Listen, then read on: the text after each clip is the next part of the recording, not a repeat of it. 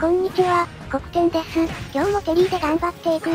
お相手は最近追加された空ね。何度かであったけど苦手だな。まあ、テリーの弱点に刺さる性能持ってるから、横 B 強いな。見てからガードは無理だし、ガードしても場所次第で反撃取れないもんね。密着で終わったら必ず反撃取るのを意識だね。テリーは自動反転あるから便利ね。ガーキャンに限らず回避から向きを意識せずコンボ叩けるのもでかい。その強みを活かしていきましょう。武器判定でどうしても負けちゃう部分があるからね。なるべく密着してダメージ稼ぎたい。肉弾戦キャラの宿命ね。武器判定きついのはあるある。追い出したけど、復帰阻止は無理だから崖待機。その横スマは意味ないと思うけど、なんであれしたのかわからないよ。じゃあもう誰にもわからないわね。ファイガのおかげで着地は安全にできたね。テリーの着地は致命的に弱いからね。ラインも振り出し接近で仕掛けられたらやばかったかも。そして再びこっちの有利状況。クエヌでダメージは低いけど再び崖展開。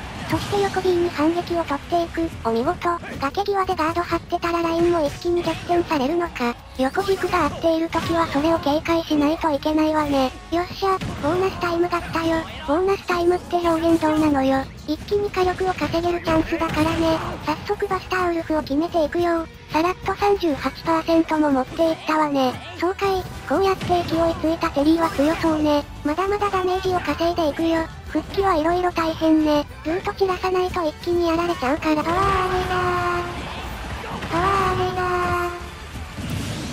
ちょっと待って、さっきのバスターウルフ一発とパワーゲーザー2発で相手消し飛んだんだけど、これがテリーの破壊力、重量級もびっくりの火力ね。うーん、やっぱり2回目の上から復帰は通らないか。あれだけぼったくったし、ダメージ的にも寿命だったし、十分でしょ。できれば最終ストックももぎ取りたかった。強力すぎる。ちょっと危なかった。空の空中性能だと崖外はダメージ関係なく撃墜注意よ。テリーの復帰性能だとなおさらだね。よし、下投げ空エライジングタックルが決まる。それもダメージ美味しいわね。序盤に決めたいってだよ。弱連にすると好きはそれなりね。地味に痛いんだよね。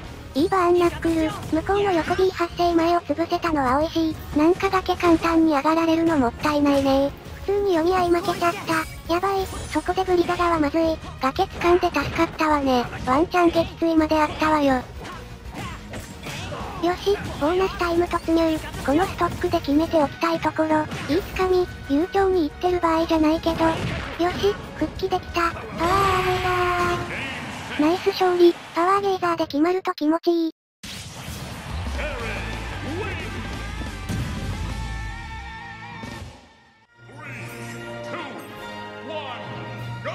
次は私ね。あんまり対戦経験がないから色々学びたいね。そうなのよね。まだそこまで数もこなしてないから、いまいちよくわかんないのよね。そういやウプ主が誰かに空を使わせる計画を持ってたらしいよ。好きにでも使わせようかと思ったんだがな。失敗した。あらら。どうしてこううちのメンツは比較的素直なキャラしか使えんのだ。以上、ウプ主からのお知らせでした。この時間必要だったのかしら？じゃあ試合に戻ろうか。ここのメンバーはほんと自由人ばっかりね。試合は互角って感じだね。正直性能がわからない相手に互角はまずいのよね。勝つ条件としては不成立だね。ヤングリンク君の強みを押し付けられれば。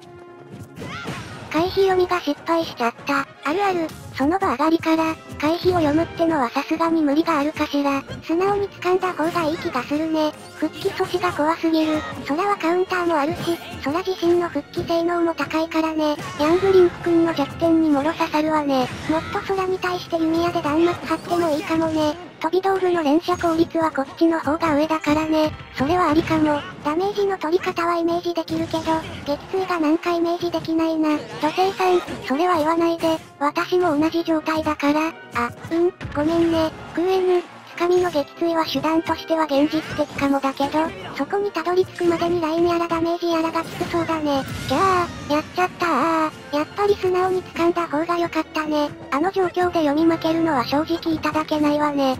てほしい上がり方を頭に入れてやるといいかもね。ダメージとか見て状況把握が大事ね。ヤングリンスとかはそういうことしないと撃墜できないもんね。一個一個頑張っていくしかないわね。ところでダメージがだんだん笑えないレベルにまでなってきてるけど、よりにもよって慣れないキャラ相手で撃墜なんはきつすぎるわよ。自利品まっしぐらだねまあ、まずい。これはまずい。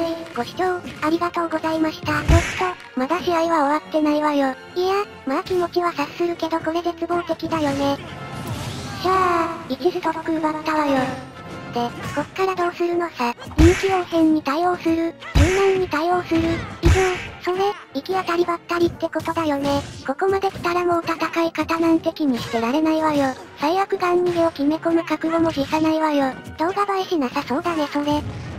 だって負けそうなんだもん。ガン逃げ決め込む試合をウプ主が採用するかな。全てを許そう、採用しよう。いいの？さすがウプ主さん、話がわかる。その試合をオリオンママと大量に見せて感想文を書いてもらい、国店の部屋に貼り付けうん、る。やっぱり動画のことを考えて試合しなきゃダメよね。うんうん、頑張って勝つわよ。わかればよろしい。土星、引き続きサポートを頼む。はい、ウプ主も地味に変なこと思いつくもんだね。あんなこと言われたら私には頑張るしか道がなくなる。まだ勝負は終わってないし、とりあえず空が撃墜範囲だよ。空は軽いからね、そこがまだ救いだわ。よし、なんとか復帰成功。